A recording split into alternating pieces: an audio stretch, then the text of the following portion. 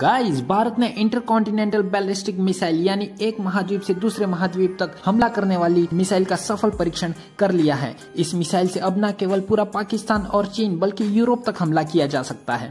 Guys हम बात कर रहे हैं अग्नि फाइव की, जिसका आठवां सफल परीक्षण कर लिया गया है, और इसकी हमला करने की क्षमता सात हज़ार किलोमीटर से ज़्यादा की बताई जा रही है, जिससे चीन खासा सदमे में है।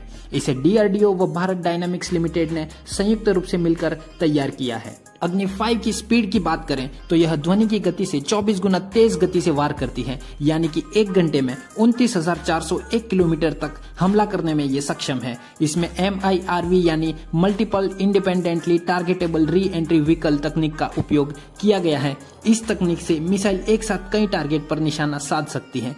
यानी कि दुश्मनों को तबाह करने के लिए इसे भारत का सबसे खतरनाक हथियार माना जा रहा है। दोस्तों, ऐसी इन्फॉर्मेटिव वीडियोस के लिए चैनल को सब्सक्राइब ज़रूर करें।